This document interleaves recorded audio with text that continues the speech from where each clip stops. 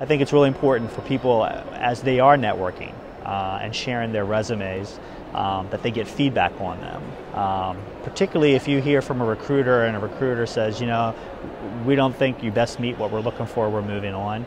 You want to take that as a learning opportunity to not only figure out, well, why am I not best qualified, but don't do it in an offensive way or in a in a way that you know is um, inappropriate. Do it as a learning opportunity, but then also capture that uh, opportunity with some feedback about your resume. You know, is there something about my resume that would have been more effective? And I think recruiters will be honest because they know they're going to see your resume again, probably 10, 11, 12 more times. Um, and if it, can, if it can be more t- targeted and focused, it not only helps them understand how to best fit you to what they're looking for, but it also puts them in a better position to be able to market you to the hiring manager because the hiring manager is also looking for the quick six second glance of how this person's qualified. So what I've also know is true, a lot of recruiters will um, will ask candidates to reformat their resumes to be more effective so I can push this to the hiring manager.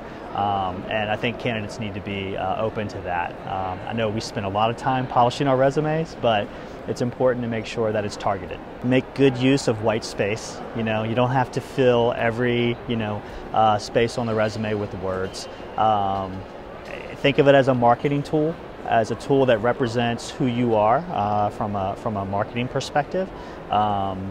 And I think you know you want to make sure. I mean, I think the community gets a little frustrated when we say you know you, you need to have three or four different resumes so you can customize them for the opportunity. It's, it feels like a lot of work, but you know, being able to think about you know whether it's a functional resume or a chronological resume or something different for the for the right opportunity for the for the right organization. Um, particularly when you're looking at how do I convey a skill set that is not direct. So I'm trying to figure out the best way to make it appear transferable, right?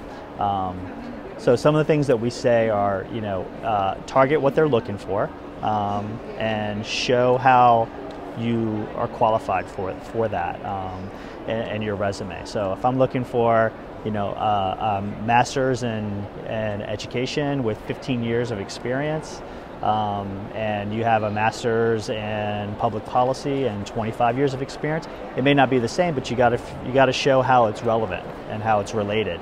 Um, so it's it takes customization, but it also takes simplicity and effectiveness.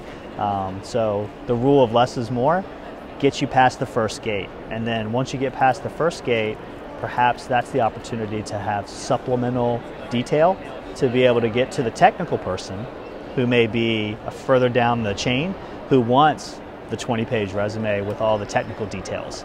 Um, but to get through the gate, it's got to be more streamlined.